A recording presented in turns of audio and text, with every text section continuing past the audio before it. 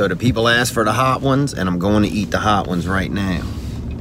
So I'm nervous, you know, because you got to eat the spicy wings.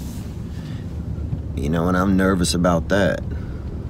And you got to have a conversation while you're eating. So that's really, you know, that's next level, really.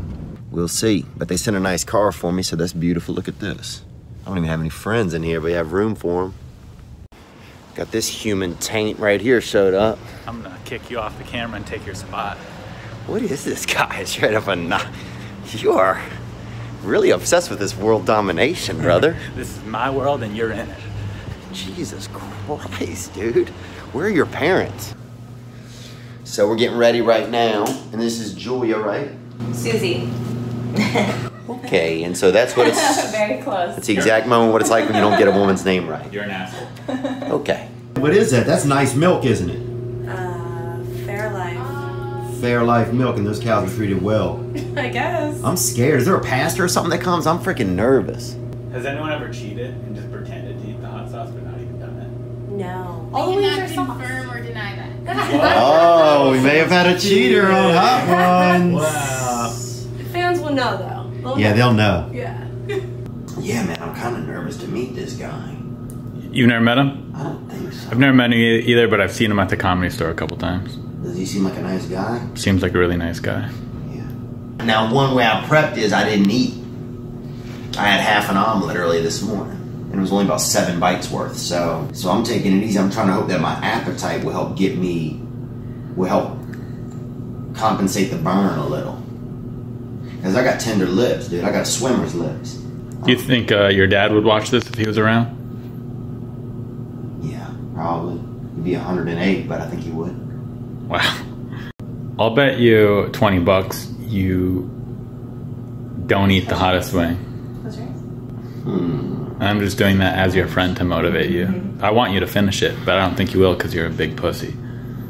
Jesus Christ, dude. Sorry, excuse my language. A, a, a scaredy cat.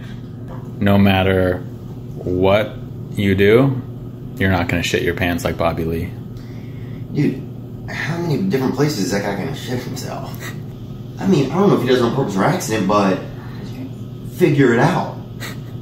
Dude, I shit myself two times in a month, bro. I'm going to the hospital. This dude's milling around America to shit himself. Yeah. What's up? I'm Theo Von, and I'm gonna be this week's guest on Hot Ones. What's up, Theo? What's up, Sean, man? Nice to see you today, man. Nice to see you. I'm feeling ready for the heat. Okay, good. You know what you're getting yourself into? ready to f- rearrange my chromosomes, dog. You know what I'm saying? Man, I feel like I feel like a damn breech birth. Well, look at that mouth after that hot ones. Aria, what else? I'm surprised you're able to talk after that. Whew. Look like I just met a man outside of a damn Shoney's. okay, thank you. Yep, thank you so much. Have a good day. Well, we did it, man. You did it. But I'm cool. I got to be there for it. That's cool. Was it fun? Yeah. So this is the repair. Look at that. Your mouth gets all hot, hotted up after that heat, boy. Man. Look like I just lost my wingginity, bro. And my eye feels hot. This one feels like it's got some heat in it.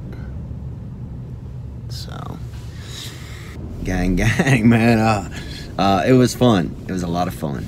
So, I'm grateful that I got to do it, man, and just have a neat, fun moment like that, and you know, be included in you know some of the other stuff that other people have gotten to do. And so, I don't know what some of my thoughts are, um, but I had a good time. penguins. Men present the women with a pearl. With a pearl? Yeah, I believe that's how they find it. They find like a pearl or something. That's how they propose to their ladies. Really? Yep, I think so. Wow, bring that up.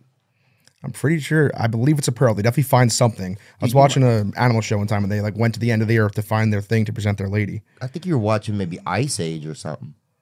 I think it's something like that. Using a pearl to propose? I think so. Because I'm not seeing anything on that. Maybe not a pearl, but definitely something. They like they have to find something and then give it to the lady. I'm pretty sure. How do penguins propose to one another? Oh, with pebbles. Pebbles. Sorry, a, a- a less fancy pearl. It's a very good point. That's all a pebble is, dude. Yeah, A pebble is just a pearl that's finds the smoothest pebble. Isn't that nice? Romance. People think romance is dead, huh? That's a good point, isn't it? During courtship, a male penguin will find the smoothest pebble to give to a female as a gift. If she likes the offering, she'll place it in the nest, and the two will continue building up their little pebble mound in preparation for the eggs. That's actually beautiful. I didn't know that. That yeah, I'm gonna cry right now. I didn't know that that was their beginning of the foundation for their nest for their eggs. That's fucking cute. Dude, that is so romantic. That's romantic as hell. Because first of all, to even be a penguin, right, and balance a little pebble. Yeah, and they, and they don't. It's not like they look down at the pebbles there. They got to go find the smoothest pebble.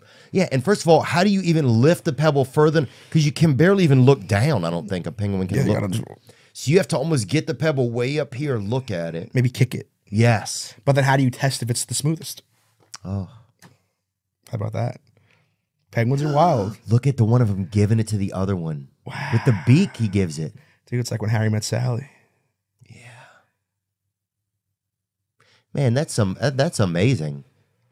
Is there something else really romantic that happens in nature? See if you can find some some of nature's best romance. Because the only other thing I've seen is that lizard, that guy who's like a total perv that like mm-hmm. puts like the big fake. Yeah, thing. that's the only other thing I was going to say as well. There was, I'm pretty sure in one of those shows I was watching one time, I think it was some sort of a bird. He literally put on a, a, like a "So You Think You Dance" esque performance for his Yeah. lady.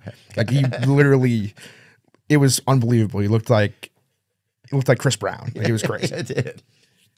And then I think he actually the woman when they come over. So it really had a but lot he really of, popped off on the dance. A lot of was- sea brown. It was beautiful to see. there. Flamingos dance for their love. Take us through that, Zach. Yeah, there's a this article lists a couple examples, but flamingos dance for their love, I guess, in separate groups. Um, they strut together in search of a mate. Seahorses, I guess, flirt a lot. Horny. Um, yeah. Wolves, wolves mate for life.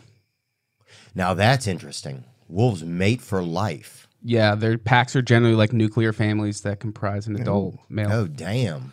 Dude, did you possibly see that um that story out of Vegas about a month or two ago that uh, some sort of dog, I forget, I think it was not it wasn't a bulldog, I think it was maybe a pit bull, was adopted by a pack of wolves outside of Vegas and became their leader. Really? Yeah. Damn. Animal control found him and took him back, but he became their leader. He was the leader of the pack. Wow. They didn't kill him and then let him become the leader. Huh. Yeah. White dog spotted dog. living with coyote, Coyote pack, pack. in Nevada rescued. Apparently he became the leader of the crew. Wow. Parents in shock as gorillas mate in front of kids at zoo. A pair of gorillas at a zoo left parents shocked as they decided to start doing it like they do on the Discovery Channel right in front of the kids. When you take the kids to the zoo to see all the wonders of the animal kingdom, you've always got to understand there's a risk that all creatures, great and small, will be up to some naughty antics. I love this. Hell, I think the zoo could charge more for animal sex hours, honestly. If you come at 2 p.m., that's when everybody's fucking. You know what I'm saying, bruh?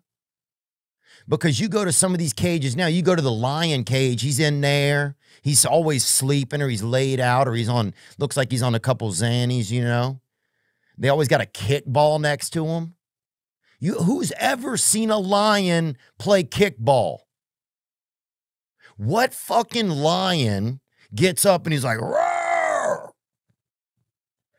Then you see another lion run up and just, and the other lions are like, roar, kick it, kick it. It's, there's no fun. That's, what do they do? They're not doing anything. And then, and there's always like a tightrope in the cage going from like one tree to another. Like the lion, like the lion's just gonna like, oh, just like walk on the road, like, oh, I'm a, I'm a, a rope lion. I'm a tightrope lion. Roar! Fuck! What the fuck? They don't do shit, man. I'm sick of paying entry fees to see animals not do shit. They don't do shit. These animals don't do shit. They just lay there like rich animals. That's all they are because we took them out of the wild. The wild is where God is out there setting it off. And Mother Nature's out there fucking twerking. and people are eating BBQ and getting gunned down. But we take them out of the natural environment. We put them in this rich ass fucking maximum or minimum security prison. And they're living large. They're kickballing. They're eating lamb. They're, I saw one video, they're feeding lamb to lambs. I'm sick of these rich ass animals. That's all this is, man. Have you ever lived in a shitty neighborhood and then moved to a better neighborhood? Have you ever moved from Memphis to Nashville? Okay, that's what's happening with these animals. And people are like, well, we, we got to set the animals free. No, we, what? If we set the animals free, every penguin will be at, in, at Albertsons in the frozen food section. You'll have every penguin in there fucking just, just beating open a thing of fish sticks. Every leopard will kill every missing pet in your area. There will be zero missing animals. You can't free you, you can't free these animals, man. Cuz they'll be right back in nature. They'll be right back in the wild. And the wild, the wild is gangster. That's the UFC for animals, man. These animals, they have it good in the zoo. They got it really, really good. So I say we either put them to work or tell them to take a four legged hike.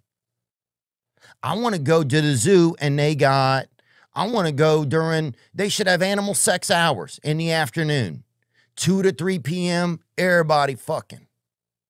All right, $40 to get in. You t- that zoo would be packed. That zoo would be even the French would be there like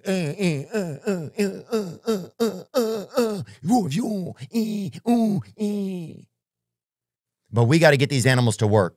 The, these zoos, they're not making any money. Nobody's going to see the. You could watch a nature channel, they fight immediately. The Dana White should do the nature channel. These bitches fight immediately on the nature channel. So these animals, I think they either need to step it up or get the hey. That's what I'm saying. I want to go to the zoo. I want to see, uh, you know, I want to see, uh, I want to see the ant. I want to see these apes fist fighting.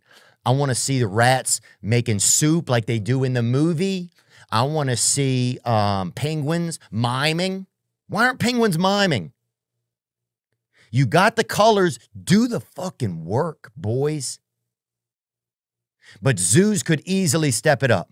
2 p.m., all the animals fuck. That's easy. 2 p.m., all the animals fuck. $40 to get in. Bring a rain slicker. Boom. Now we're talking business, baby. But I think if you go to the zoo and see some animals fuck, lucky you. All right? Just make sure that you have a conversation with your son or daughter afterwards to explain what happened and that they shouldn't feel ashamed for watching it. When I was a kid, I thought jacking off meant you were gay. Like, Yeah. I didn't know that that meant that you just were a regular person. Right. And so I lived with that until I was like, until I was 18 years old. You were jerking off thinking you were gay, though. I thought I just thought I must be gay. I can't stop. I must be one of those weird gay guys that's only attracted to women Mm-hmm. because I don't. I'm only jacking off to chicks and I'm hooking up with chicks. I had sex with a chick, but I can't quit jacking off. And then we got into our fraternity and they said something about jacking off, and I was like, "Hold on, you guys, you guys do that?" And they're like, "Everyone does it." And I was like. Where the fuck was this open and honesty? Yeah. Like, where was this my whole entire fucking life? And they call it jacking off with the Yeah. word j- like a name Jack Uh, no, that's when they started calling it rubbing one out. Oh, Oh, everyone really? rubs one out. Yeah, and I was like, rubs one out. And they're like, yeah, you know. And I was like, Dude, Eddie Bravo said they people would just uh, used to say play with themselves. Yeah. and it was totally normal. What you gonna? What, what's going on today, man? I'm probably gonna just you know have you know have some Kool Aid and maybe play with myself or maybe you know get a new harp or something. dude, I wish that that had happened earlier for me growing up because it was, I, I really was like, I must be a pervert. Yeah. There must be something wrong with me. Like, I don't, I don't think I ever really, like, at a certain age, you go, I'm definitely straight. I'm, I'm sleeping with, I, I had lost my virginity to a chick. All I want are chicks. I remember the first time I felt a chick up in the bushes. Remember when you go back into the bushes? Oh, yeah. And just make out and just hold, just play with their tit a million different ways. You're like, I've been waiting for this day my entire fucking life. Oh my God, oh my God, oh my God. Like, Oh, dude, I remember some girl didn't want uh me to she was like so nervous about like God, I guess, seeing us touch each other or whatever. We were in a sand trap on a golf course, right? Yeah. Oh shit. She was God so nervous. Damn it. She took her fucking pants off and everything, and then like tried to cover as much of her body as she could with fucking sand, right? So then I don't even. I'm still. I'm young, dude. I can get through some sand for some crotch, you know. Like this is, you know, Yeah. This is fucking, you know. I'm fired up. You know what I'm saying? I could probably shoot semen through a fucking wall of sand at that time As a still hit golfer a would say, as a golfer would say, she was a fried egg. So then I'm playing with this, you know, touching this girl's crotch with sand everywhere, and it was, it, you know, it ended up kind of stopping the scenario, and she uh, and and and she didn't, you know, she got I don't want to say sick, but she had to, you know, talk to her mom and stuff a bunch after that. I got a sandy hand job one time in Clearwater Beach. Did you? Oh, every s- hand job is sand down there, dude. Yeah, Bro, you, dude. you can't keep sand off your dick south of uh, north of Destin. Just rubbing the skin off, and you just were like, "Just it'll be over in a second. We just got to get through this. This is the hard part. this is love. This is mile 20 of the marathon. Here we go. Here we go. Come on. Dude, yeah, fuck yeah. God, I miss those days. Like when like you're when like you were like you'd get so excited to touch a body and you'd be like, "Oh my god." oh yeah. Like I remember the first time I fingered a chick. I was Oh, on wow. Secret Time. I was on I was in the haunted house ride at Disney World in Orlando. And it was the part where like and I just I never thought about it. I never like I was in eighth grade and I was like, we're making out on the ride and I'm playing with her boob. Mm. And then all of a sudden I just was like, let's see if this works. And it just went in so quick and like it just it just worked. It just went Yeah. and I was like, whoa. And then I didn't know what to do with my finger, and I just left it there like I was taking her temperature. Yeah. Just left it in there like, yeah, pretty nice, huh? That's swaggy, And dude. she's like, huh? I'm like, yeah. Okay. You're about done? That's an old doctor move, dude. Dude. Bro, I remember one time I was in, I was doing a college show somewhere. This is like 10 years ago. And afterwards, I was drinking at a house on, uh, I was drinking at a house, right? Yeah. And I didn't know the house was on campus, but the police show up and they say, this house is technically on campus. It didn't look like it was on campus at all. It was like a regular house. Yeah. It wasn't like a dormitory or like a you know, um, a quadruplex or anything like that. Um, so the cops came, took me to jail, right? And there was this girl I was flirting with, and I was like excited, maybe I get to you know hook up. Well, anyway, I get back to the hotel where my buddies are staying in the morning. The girl slept over. She hooked up with my buddy, right? Yeah. And um, and he had broken both of his. He had two broken arms though. So my other buddy had to hold him up while he was fucking her. Like he, like he like laid on, got on top of her. But then my other buddy, who was real strong, like Adonis, like Yeah. leaned over and just held him up the whole time by his chest, so Yeah. he could just like dangle his arms, like because my buddy was on top, like he could just dangle his arms and still have sex. And then me and the girl ended up having sex, dude. And she had the darkest bush I've ever seen in my life. And it was like three or four inches long and it was straight. She was like black. She was African American, but just kind of in the pussy.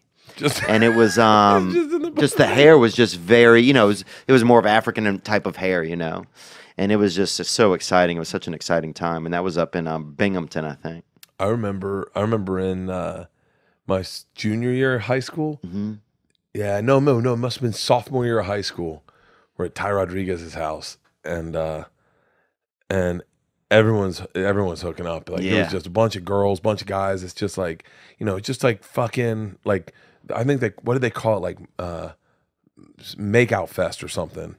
And then the next morning we're all eating breakfast, and uh, everyone was like, "Did you hook up?" I was like, "Yeah, I, I made out pretty fucking aggressively with." I'm just saying a name like Jennifer, and Yeah. they're like, uh, they're like, really? And my buddy Sean Hooker goes, "Uh, "What time?" And I go, Oh, what "Oh, an asshole. probably like Nighttime. one." And he goes, "You think it was one or more around two? I said, "Well, I don't know. It was right before we all went to bed." And they started laughing. I go, "Why?" And he goes, "Because she was sucked my dick at midnight." and I was like. Oh. And that's when everyone's like, "So wait, what's Hooker's dick taste?" I shouldn't say his name, I guess. Well, fuck it. What's Hooker's dick He knows, like? yeah. he knows, man.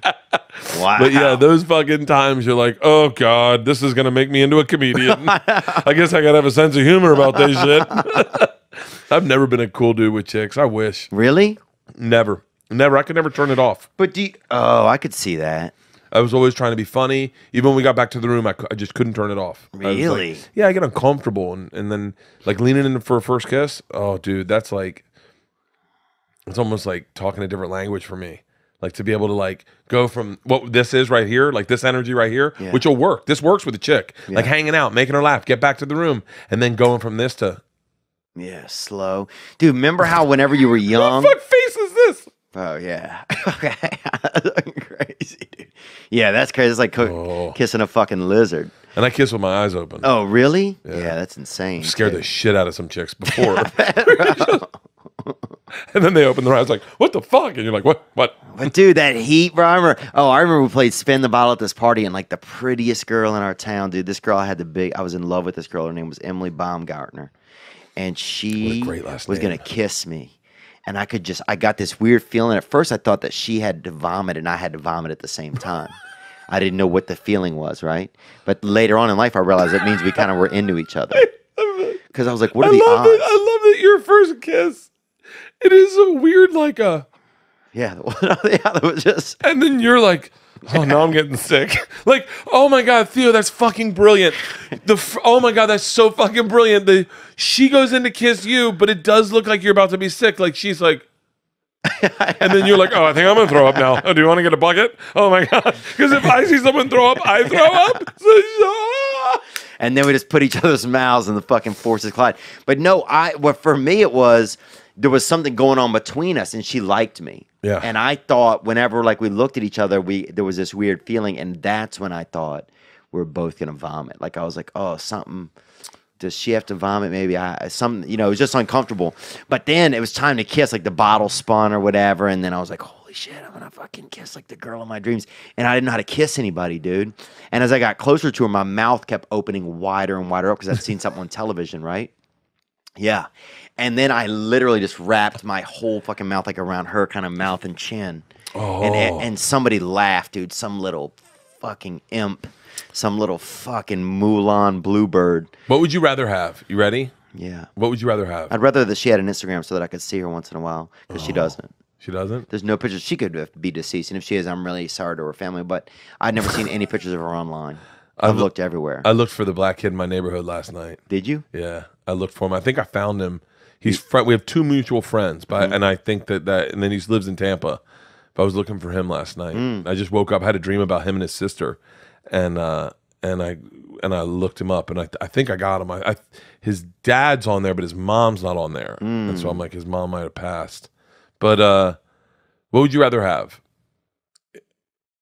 Uh, there's no question for me to go back in time Mm-hmm. and re-experience your first kiss, or Mm. go back in time and it- re-experience the first time you had sex with someone.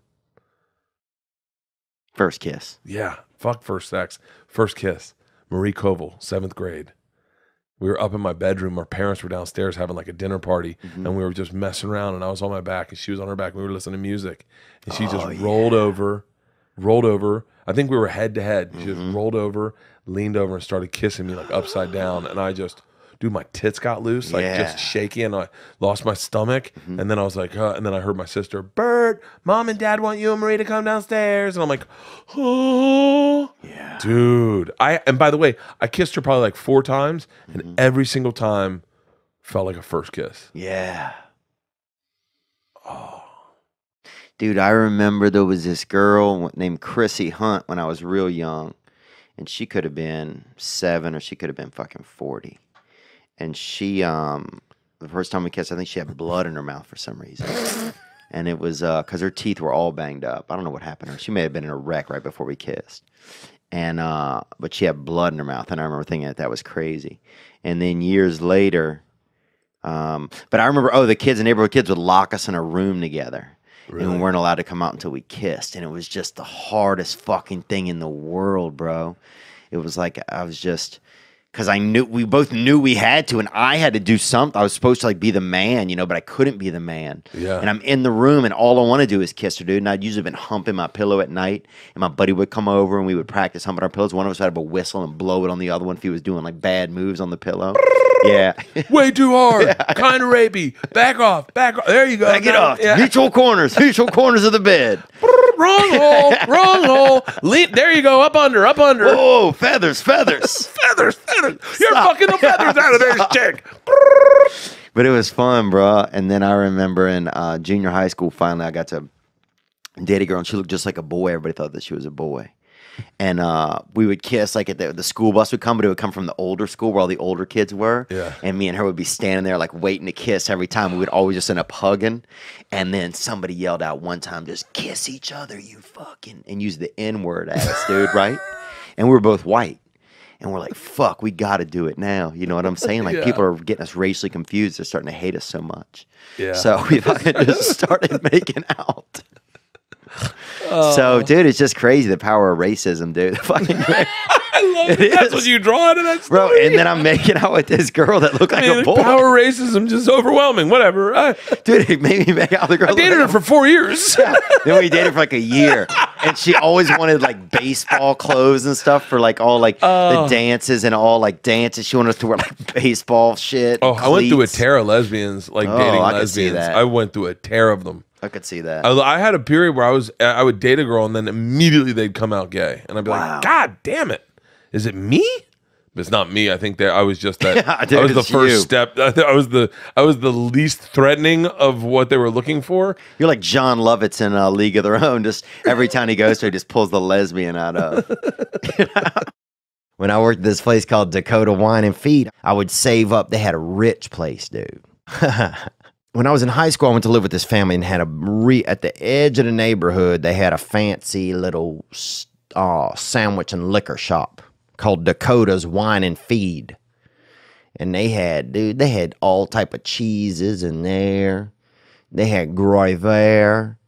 They had damn um, Saint Cyr. You know, they had that bouillabaisse. They had all kind of fucking shit, French shit. I mean, let's be honest. Stuff that's fancy is French. That bouillabaisse, bruh. That brie, Gruyere. Before that, if I ever even heard one of these words, it was usually like kind of a middle name of like a black friend of mine. You know? Oh, that's fucking Jerry Gruyere Jackson right there. You know? Oh, that's Shantisha Bree Crandall, you know? So these before that, that's all it was. But now I'm hearing they had these different types of meats, man. Prosciutto, fucking lamb.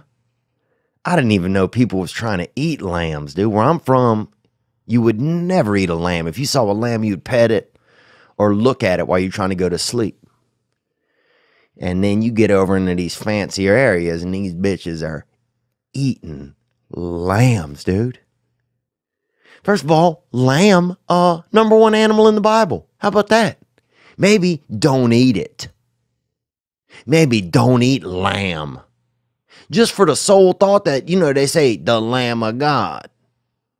Maybe God's trying to drop you a H I N T on what not to H U N T. You feel me? Don't kill lambs. And then you go to these fancy neighborhoods and they uh, you know, they got them lamb scallions and fucking. You see some rich dude, he's driving a Corvette and he's just throwing chunks of lamb in the air, and his little son, little Fauntleroy the fifth, he's catching them in his jaw. And they out here eating the eating the damn just fucking just nibble snacking on the Lord, doing 45 miles an hour in a school zone. And probably wearing shoes made out of damn chocolate. And that's who they are, boy, rich people.